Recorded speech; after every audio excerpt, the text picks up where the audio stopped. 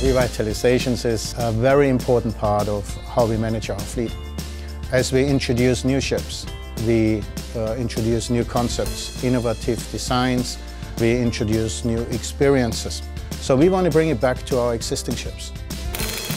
We have to bear in mind that ships are five years between dry docks. So we have a number this year here in Freeport, we have one in Singapore and we have two in Cadiz. It is all about communication. It is all about having the processes to follow.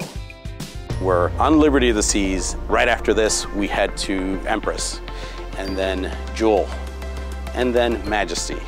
We have Radiance that's coming up as well. We have Adventure that's coming up later in the year. We've ramped up for the last four years, and it's been building up to this to this time. I guess I'm a 12th year at Royal. I don't think we've ever had a period like this. I have an incredible team that's behind me, design team, uh, structural engineers, naval architects, builders, who all collaborate to try to make that happen. The principal success elements are, are clearly finishing the project on time, on budget, with quality, but not just finishing the work, making sure the ship is handed over back to operations, absolutely fully ready in every respect.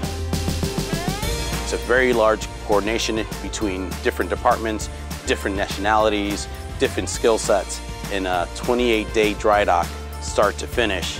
When that first guest comes on, everything is finished, everything is clean. It takes quite a feat to do that.